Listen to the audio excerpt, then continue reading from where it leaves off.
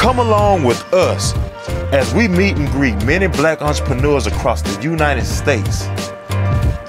Against all odds, we're getting their take on what it takes to be a successful entrepreneur. These are their stories. And this is Greenwood Ave.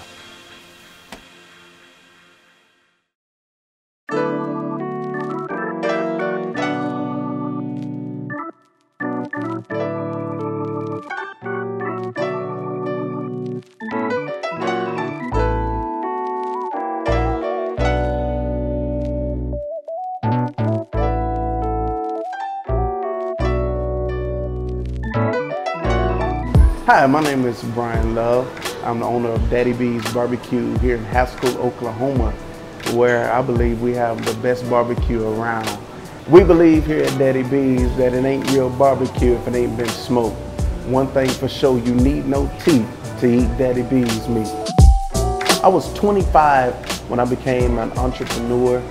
I had the vision, my wife seen the vision, and we just went forward my wife wasn't a barbecue eater. She didn't, she really didn't care for barbecue. And uh, me, I've always loved to smoke meat, loved to barbecue. And I started barbecuing and, and for some reason, she started to love it. She started raving about it. And one of my passions was always to have a restaurant. I've always wanted to do it, but I didn't, I didn't see it. I didn't know, I'm, you know, 25 years old, didn't know how I was going to be able to do it, what it was going to take to do it.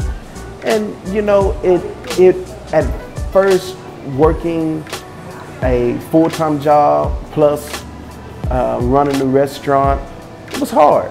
It was very hard.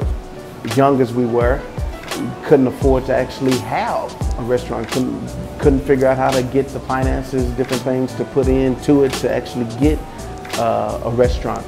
And so what we did was we actually started um, selling food uh, under a tent. We started selling food up under a tent.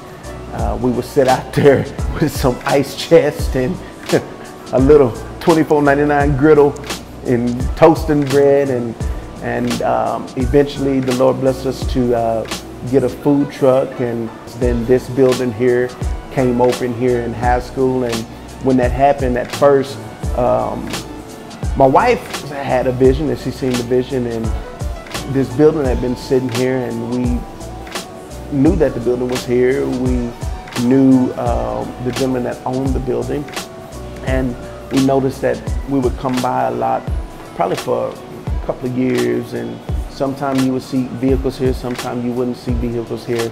And so one day we just called and talked to the gentleman and we were able to secure the building. The Lord blessed us uh, to be able to secure the building.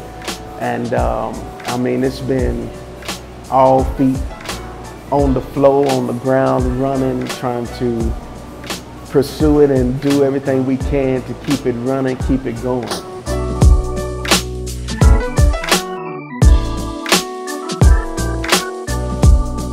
Advice that I would give to um, any new entrepreneur, anyone that's trying to start a business is don't get scared, go for it. When the door closes in your face, keep pushing. Never stop. Make sure you know your passion, know what your goals are.